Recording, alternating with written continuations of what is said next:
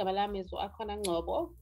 I am a life coach and I run a company called KYA Consulting. We are leadership development specialists. Um, we help people understand why they think, feel, and behave the way that they do. Reading, I think I used to escape with reading. I'm an introvert. I think I'm an introvert. So when I was younger, um, to get away from like chatting to people, I would just I would just read. Um, I used to play basketball a lot, and I remember when we had tournaments.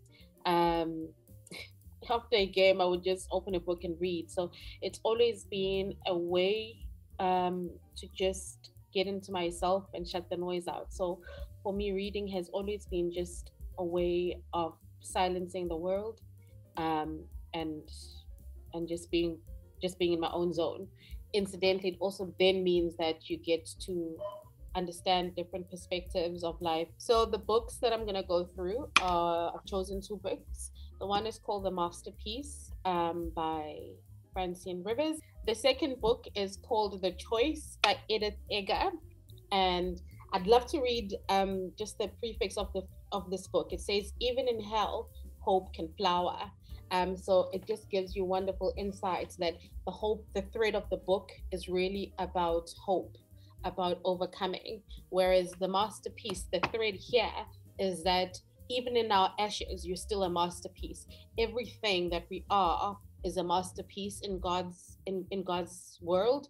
Um, but it's at finding ways to understand that how do we then come together as different masterpieces. I love Francine Rivers because the way she writes, she's a Christian author, um, but she takes like scriptures and makes them into more day to day kind of events. So um, I've enjoyed this particular book of hers.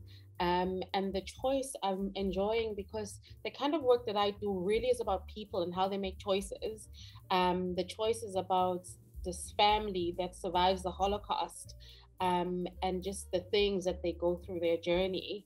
Um, and I find that has has has has had an impact on me in particular this year, um, because after COVID, I've just had a lot more people that I'm coaching that have been faced with realities that I never thought were possible before.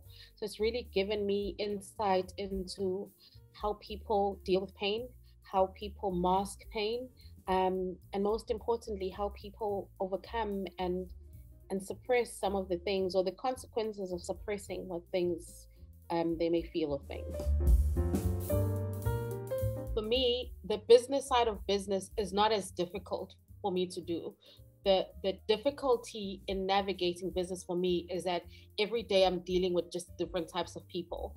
And both these books have helped me understand how people think and feel that the way that they do. Um so it gives me insight into just different behaviors. So for example I may be coaching somebody that's um I that I find to be misogynistic of course that would be problematic for me but the point is in my line of work you've got to treat people with love and dignity irrespective of what you think and believe. And i think these books have just really given me insights into the beautiful parts of people that i may otherwise judge um, in my other lens.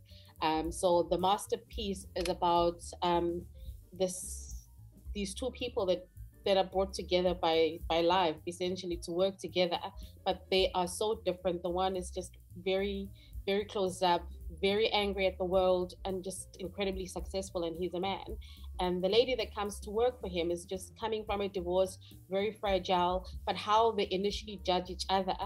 But when you remove judgment from you know their different worlds they realize that actually there's beauty in both ends of the world. And I think that has been beautiful for me um, and my business because after COVID, I find myself doing leadership development or coaching people that are from all walks of life um, and that are struggling in, in incredibly different ways. And I think people find it hard to articulate what they're feeling.